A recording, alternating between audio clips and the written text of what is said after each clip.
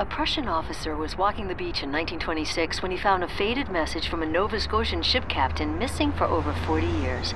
To whom it may concern, tell mother I died fighting. A message in a bottle, long before social media, a way to human connection. This is Here and Now. I'm Robin Young, 90.9 WBUR.